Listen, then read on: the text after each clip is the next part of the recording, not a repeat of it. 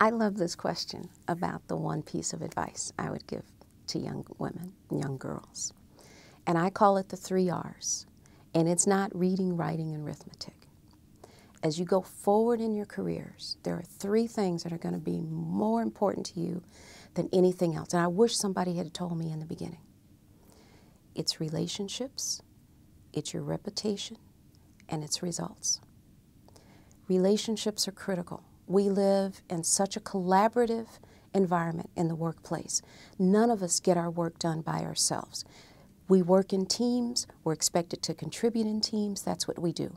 So having collaborative relationships, doing what you say you're going to do, um, being dependable, responsible, accountable, thinking outside the box, working well with others, critical. Relationships, your reputation. And I touched on that a minute ago.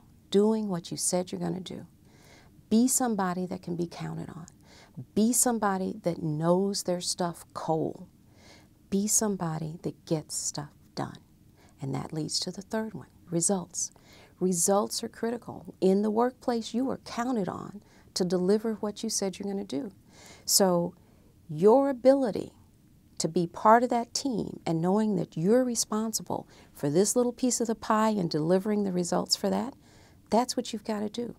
So, relationships, your reputation, and results are the three most important pieces of advice that I could give any person, no matter what their age these days.